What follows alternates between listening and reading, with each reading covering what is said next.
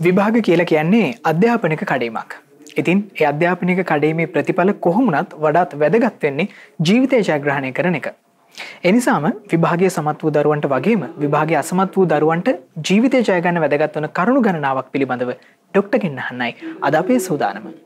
උසස් පෙළ ප්‍රතිඵල ඇවිල්ලා සමහර කට්ටිය බොහොම සන්තෝසයෙන් ඇති. දෙමව්පියෝ ගුරුවරු ප්‍රතිඵල හොඳ දරුවන්ගේ බොහොම සන්තෝෂ වෙනවා ඇති. ඒ වගේම තව කට්ටියක් දුක්කටපත් වෙනවා ඇති. Tamanට බලාපොරොත්තු වෙච්ච ප්‍රතිඵලය ලබා ගන්න බැරි වුණා කියලා. මුලින්ම මම කතා කරන්න කැමති උසස් පෙළ Taman බලාපොරොත්තු වෙච්ච ජයග්‍රහණය ලබාගත් දරුවෝ ගැන. ඔබ දැන් මේ ජයග්‍රහණය ලබාගෙන තියෙන හින්දා ඒකෙන් ඔබට ලබාගත හැකි චිත්ත මනෝ කුසලතා කීපයක් තියෙනවා. පළවෙනි එක ඔබ මේ විභාගයට සූදානම් සූදානම් වූ ආකාරය යම්කිසි ආකාරයකට නිවැරදි හා ජයග්‍රහණය ලබාගත හැකි ක්‍රමයක් බව. දෙවෙනි එක ඔබ යම්කිසි සංවිධානාත්මක බවක් ඇති අයෙක් බව. තුන්වෙනි එක තමයි ඔබ මෙම විභාගයට සූදානම් වීමේදී ඔබ මුණ දුන්න ගැටලු ආර්ථික දුෂ්කරතා අන්තර්ජාල පහසුකම් පිළිබඳ දුෂ්කරතා වෙනත් ගැටලු කෝවිඩ් ඒ වගේම ඉන්ධන අර්බුදයට ඔබ මුහුණ දුන් ආකාරයෙන් ඔබ ඉගෙනගත්ත පන්නරය ඔබේ ඉදිරි ජීවිතයට ගොඩක් වැදගත් වේ. සමහරක් වෙලාවට මේ ගැටලු වලට මුහුණ දීමේ හැකියාව. අපි කියනවා problem solving skills කියන එක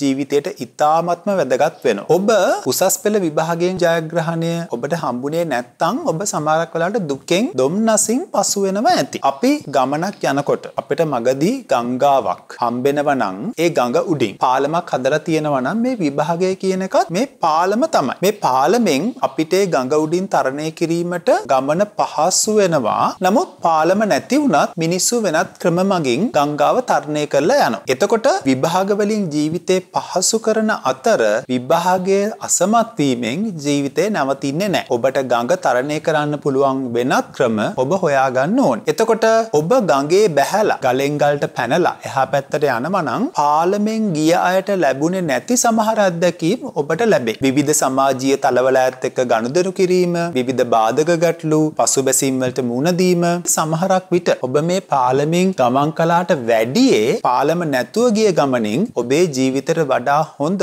පන්නරයක් ලැබේවි. අපි කියනවා ඉමෝෂනල් රෙසිලියන්ස් එකක් නැත්තම් බාධක ජයගැනීම සඳහා හැඟීම් වලට මුහුණ දීමේ ඔරොත්තු දීමේ හැකියාවක් ඔබට ඇති වෙයි. එතකොට දැන් ඔබ විභාගය ජයග්‍රහණය ලැබුවේ නැත්තම් මුලින්ම කරන්න තියෙන තීරණය තමයි ඔබ නැවත විභාගයට මුහුණ දෙනවද කියන එක. ජීවිතය කියන එක දිග ගමන. ඔබට තව අවුරුදු 10කින් 20කින් ඔබ උසස් රැකියාවක් කරනකොට කවුරුවත් ඔබ ළඟට ඇවිල්ලා අහන්නේ ඔබතුමා ඔබතුමිය මෙතෙන්ට ආවේ ෆස්ට් ෂයි එකෙන්ද සෙකන්ඩ් ෂයි එකෙන්ද තර්ඩ් ෂයි එකෙන්ද කියලා ඔබ හිතනවා නම් ඔබට වෙනත් මාර්ගයකින් ගමන් කරන්න ඕනි කියලා මේ වගේ ප්‍රතිඵලයක් ආපු වෙලාවේ ඔබ බොහොම අසන්තෝෂයෙන් ඉන්නකොට අපි කියන්නේ ඔබ ඩිස්ට්‍රෙස් සයිකොලොජිකලි ඩිස්ට්‍රෙස් වෙලා ඉන්නකොට එක පාටම ලොකු තීරණ ගන්න හොඳ වෙලාවක් නෙමෙයි. සමහරක් වෙලාවට උසස් පෙළ විභාග ප්‍රතිඵල ගොඩක් අඩු වුනහම එක පාටම දරුවෝ කියනවා මට මම ආයි කරන්නේ නෑ විභාගෙ. මට බෑ කරන්න. එතකොට මේ ප්‍රතිඵල ඇවිප්පු ගමන් හිතේ නෙගටිව් ඉමෝෂන්ස් ඍණාත්මක සිතුවිලි හැඟීම් තියෙන වෙලාවක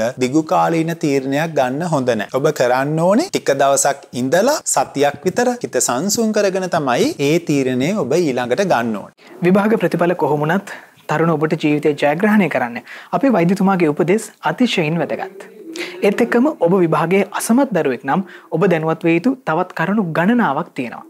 අපි සූදානම් හෙට දවසේදී ඒ කරුණු පිළිබඳව ඩොක්ටර් ගෙන්නහන්න.